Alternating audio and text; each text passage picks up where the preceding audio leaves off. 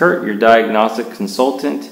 Today, I want to talk about laptops when you're getting into J2534 flash programming.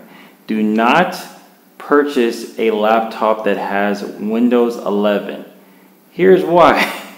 So a few days ago, I was helping one of my clients flash program with the Ford FJDS software.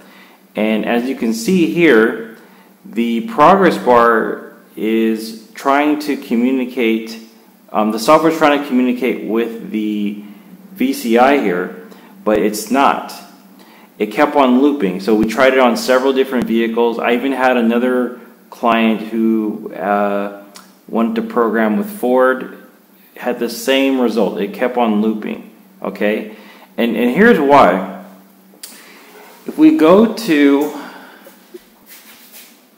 Ford's website, they have their um, operating system requirements. All right, it says Windows 10 Professional.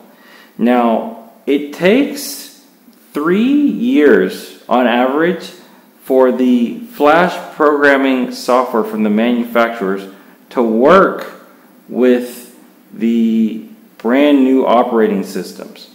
Okay? You're to get a lot of errors like this if you purchase a laptop that has this Windows 11 operating system. Okay? So I repeat, do not upgrade your existing Windows 10 to Windows 11 and do not purchase a laptop that has uh, the Windows 11 operating system. Most of them probably have Windows Home, and what you can do is if you type in Windows 10 Pro CD key, all right, if you have like a Windows Home laptop, there's companies here that will sell you these keys for like 20 bucks.